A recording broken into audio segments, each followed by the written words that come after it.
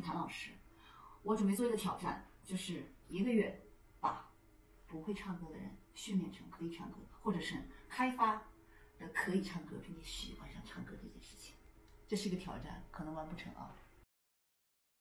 我们要介绍一下这位朋友，这这位西西同学，他不会唱歌，真的不会唱歌，你唱一首。啊，我们去大草原的湖边。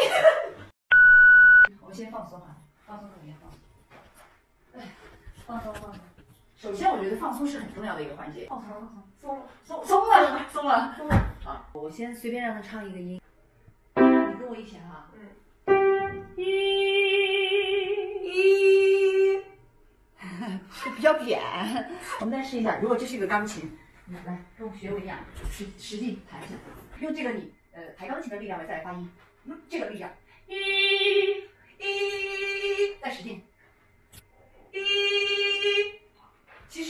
不是让他抬着钢琴唱，就是他刚刚用用气的这个方式，希望他找到这种，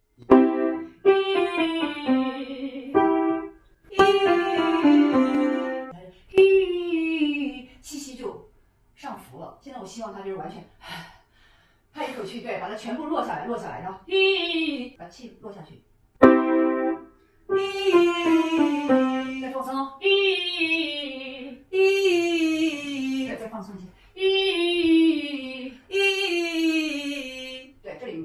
很轻松，对不对？嗯，不会特别硬僵硬的感觉，对对对，就是这样。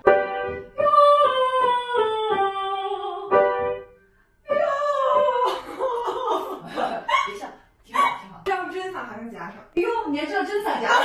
哟，你还知道真散夹？所以说，其实它是有假声的。现在我们是怎么样用把那个假声和真声混在一起？现在你是哟，现在我希望你哟，哟哟哟哟，哎，哟哟哟，我我要找到你这个真假声换声的点，然后把那个点给攻破掉。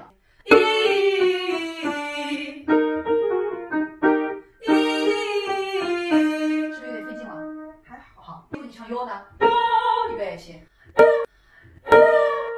啊哟，这是真声对吗？对，我听。如果你用假声唱呢？哟，可以。哟哟哟哟，就用假声。哟哟哟哟，你你跟我对抗，对，行。哟，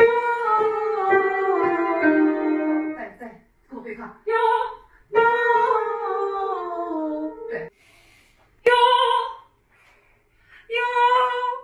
练习